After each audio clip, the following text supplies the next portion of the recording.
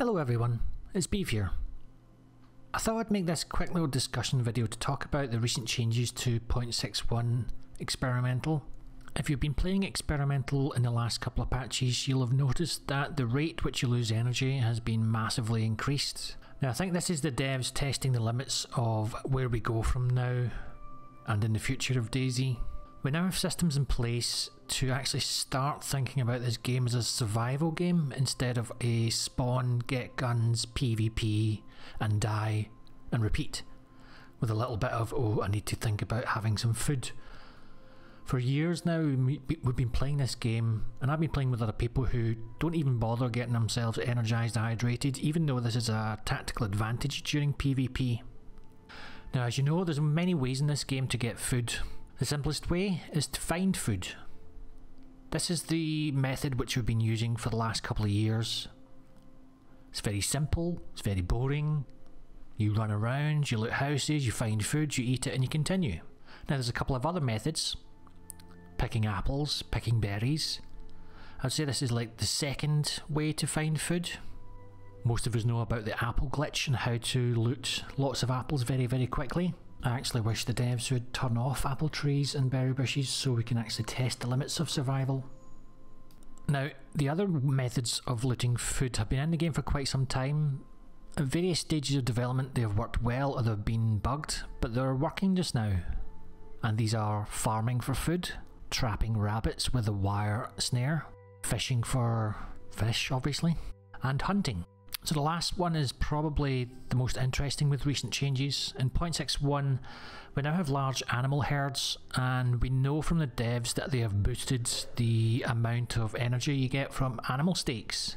In previous patches, we had lots and lots of chickens, but these seem to have been reduced and replaced with various cow and deer spawns. Now the deer are a bit of a nightmare, it's difficult to get close to them and they run away hell of a fast, but if you can find a cow herd, you are in for a hell of a lot of food out of those guys.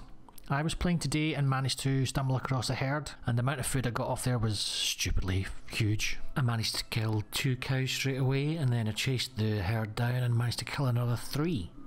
So I just wanted to talk about a little bit of playstyle I had today. Previously in DayZ, as I said, you would spawn on the coast, loot a little bit, run north to the northwest airfield, have one can of food and you'd be good to go. That bit PvP till you die. Now, if you run a couple of kilometres, you're going to be in trouble.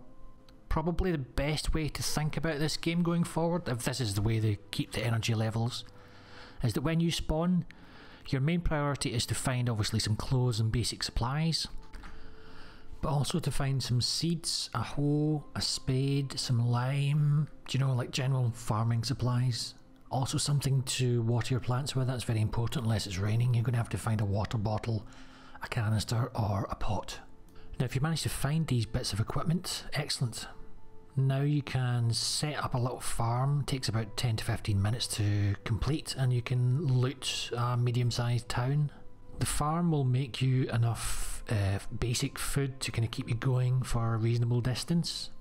If you don't find all the farming equipment, hopefully you'll find enough um, rags to make yourself a fishing rod. If you find a chicken, you can eat those chicken breasts and make a hook dig up some worms and go fishing and try and get some higher value uh, fishing steaks.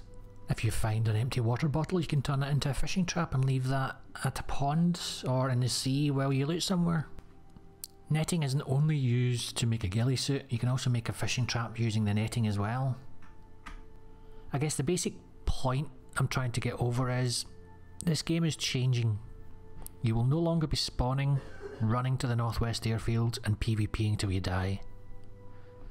Now you still can do that, but you're going to have to take it a little bit slower. You're going to have to survive the PvE element. Not only are we going to have better zombies, we're going to have wolves, we're going to have bears, and God knows what else with diseases and temperature issues.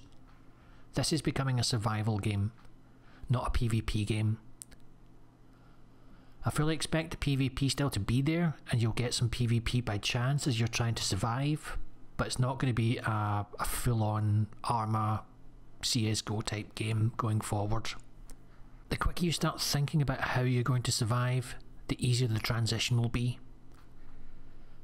If you continually have the mindset that you're just going to spawn, meet up with your friends, run to the northwest in PvP, you're going to have a difficult time transitioning.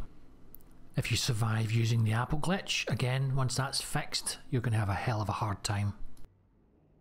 Now, I had a discussion online uh, with a good friend of mine, and he was complaining that the energy rates are too high. Now, this may well be the case. The devs might be pushing us to the limit in experimental just now, and we'll dial it back, who knows? He was also saying that it's more difficult for a group to survive. Now, in one way, I agree with him. If your only method of finding food is by looting, it's going to be quite tough for a large group to survive out there.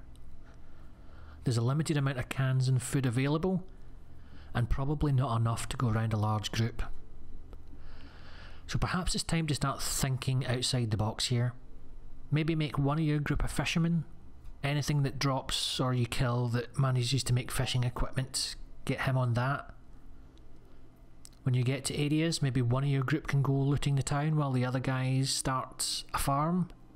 So one of you guys could head off to the local pond, start fishing, Another guy could go looting the town. He could be on chicken duty. He can kill some chickens and bring them back.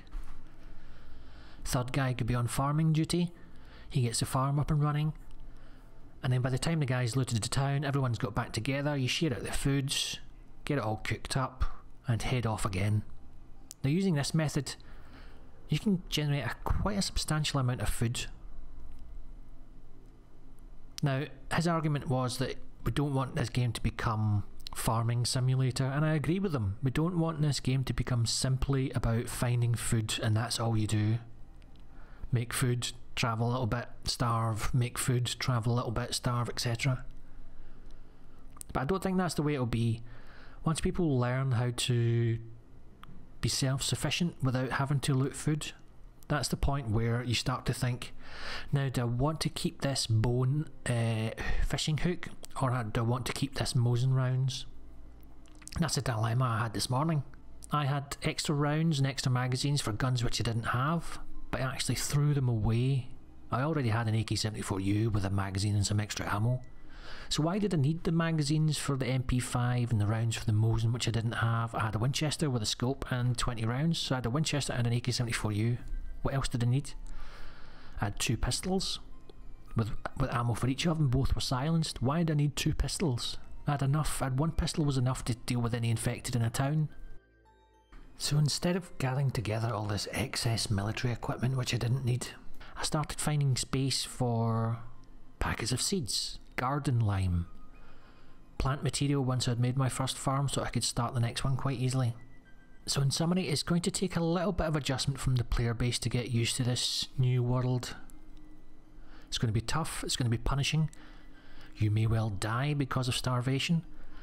But if you think ahead and you plan, there's no reason why you should. If you're in a large group, you cannot rely on looting towns for food anymore.